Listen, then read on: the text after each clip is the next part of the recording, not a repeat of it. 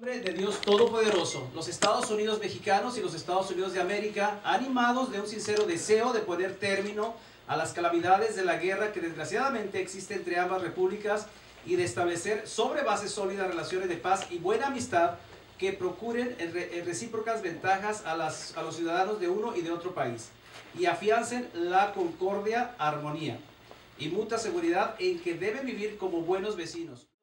Bajo la protección del Señor de Dios Todopoderoso, autor de la paz, han ajustado, convenido y firmado el siguiente tratado de paz, amistad, límites y arreglo definitivo entre la República Mexicana y los Estados Unidos de América.